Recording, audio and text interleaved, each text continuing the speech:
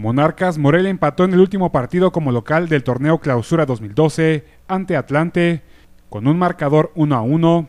La escuadra michoacana acumuló 32 puntos que no alcanzarán para colocarse dentro de los dos primeros lugares de la tabla general en el cierre del torneo, mientras que Atlante se despidió de la liguilla dignamente.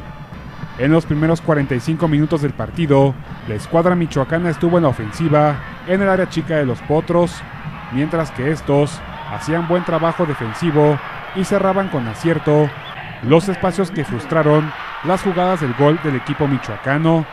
Las jugadas de peligro en la primera parte fueron mínimas por parte de ambas escuadras, así se fueron a medio tiempo 0-0. En la parte complementaria se jugó con la misma dinámica ofensiva por parte del equipo de los Prietitos y Antonio Pérez salvaba la portería de los cañonazos del equipo Purépecha, hasta que en el minuto 12 Francisco Fonseca aprovechó un descuido de Federico Vilar para marcar el primer tanto para el escuadra de Mario García.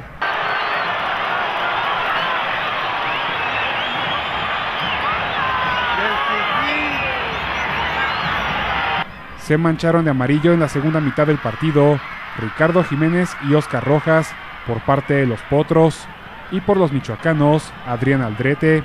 Los siguientes minutos se desarrollaron en la portería de Pérez, convirtiéndose este en el estelar del juego, hasta que en el minuto 45 Joel Wiki concretó para conseguir el empate 1 a 1. Así finalizó el penúltimo partido del torneo regular.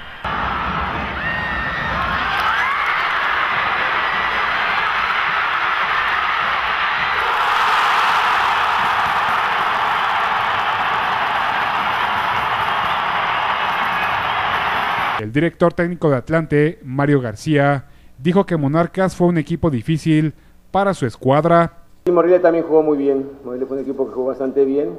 Me parece que fue un partido parejo, tal vez con un poco de mayor posesión por el equipo Morelia, pero en general, en, en oportunidad me parece que estuvimos parejos ahí. Roberto Hernández, auxiliar técnico de Monarcas, se expresó decepcionado de la actitud de la escuadra michoacana. Creo que el equipo no estuvo enganchado como venía estando en otras veces en ese sentido. Eh, empezamos de a poco, aunado a que el rival se defendió bastante bien. Y cuando quisimos, por poco y es demasiado tarde, sí creo que al final rescatamos un punto que, que pues es importante, es importante ¿no? para lo que viene, pero sí creo que hoy, hoy por hoy, eh, dejamos mucho que desear en la parte emocional, en la parte espíritu. Monarcas Morelia está dentro de la liguilla del torneo Clausura 2012, pero ya no podrá cerrar el torneo regular en los dos primeros lugares de la tabla general como se lo había propuesto. Con información de Alejandra Soto e imágenes de Benjamín Caballero informa Cuásar TV.